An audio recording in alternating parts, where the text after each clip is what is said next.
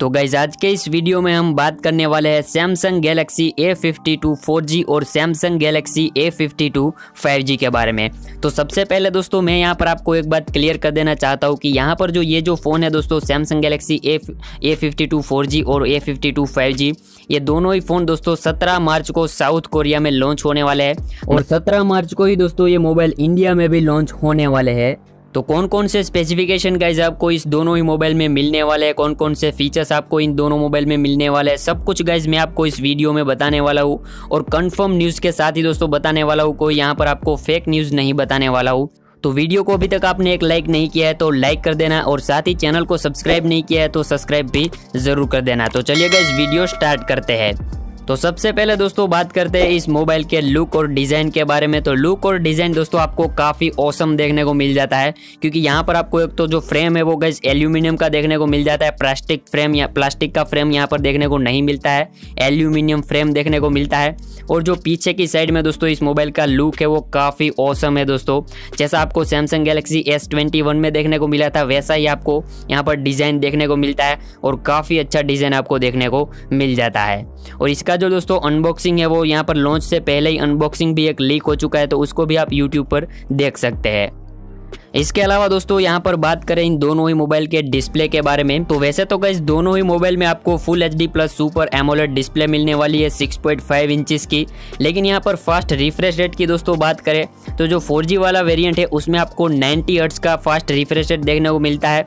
और जो 4G और जो 5G वाला वेरियंट है, उसमें आपको 120 हर्ट्स का फास्ट रिफ्रेश रेट देखने को मिल जाता है। तो 5G वाले वेरियंट में आपको डिस्प्ले काफ़ी तगड़ा मिलने वाला है 120 hertz plus super AMOLED display और इसके अलावा यहाँ पर प्रोसेसर की दोस्तों बात करें तो जो 4G वाला वेरियंट है, उसमें आपको क्वालकॉम स्नैपड्रैगन 720G वाला प्रोसेसर देखने को मिलता है।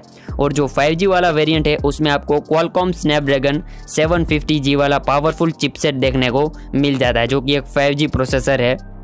और डिज़ाइन, डिस्प्ले सब कुछ आपको दोस्तों इस मोबाइल में तगड़ा देखने को मिलता ही है, लेकिन साथ में आपको कैमरास भी काफ़ी तगड़े देखने को मिल जाता है, क्योंकि यहाँ पर आपको रेड साइड में 64 मेगापिक्सल का क्वाड कैमरा सेटअप देखने को मिलता है, और जो मेन सेंसर है वो 64 मेगापिक्सल का है, और वहाँ पर आपको ओ का सपोर्ट भी देखने को मिल जाता है। तो जो लोग वीडियोग्राफी पसंद करते हैं, वीडियोग्राफी करना, उनके लिए मोबाइल दोस्तों काफ़ी कमल का होने वाला है।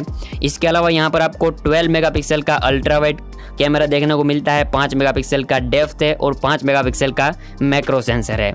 और थर्टी टू का सेल्फी कैमरा आपको फ्रंट साइड में देखने को मिल जाता है।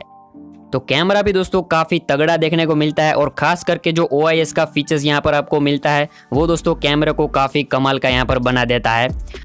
और इसके अलावा यहाँ पर बैटरी की बात करें तो 4500 थाउज़ेंड की बैटरी आपको देखने को मिलती है और साथ में आपको 25 वोट का फास्ट चार्जिंग देखने को मिल जाता है। तो इस बार दोस्तों यहाँ पर काफ़ी कम बैटरी आपको देखने को मिलती है।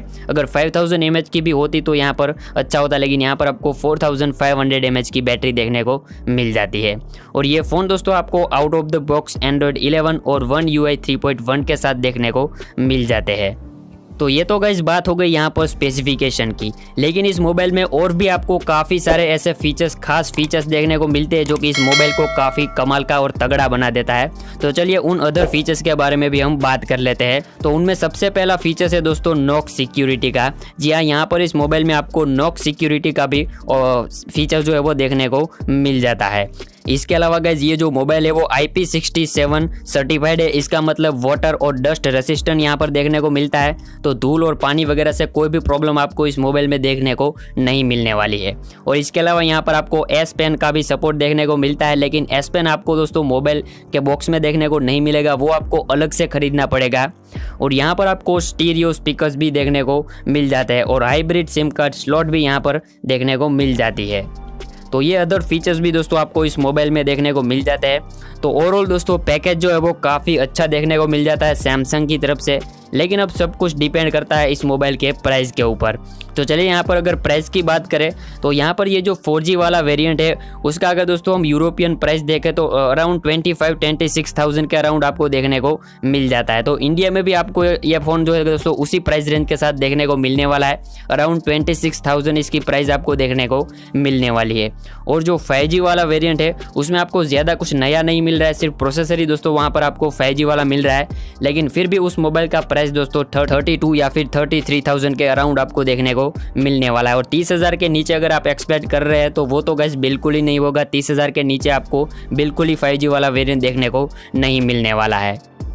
तो यही है guys Samsung Galaxy A fifty two four G और फाइव जी दोनों ही मोबाइल के स्पेसिफिकेशन और नीचे कमेंट करके ज़रूर बताना कि आपको ये स्पेसिफिकेशन कैसे लगे और क्या आप इस मोबाइल के लिए वेट कर रहे हैं या फिर नहीं।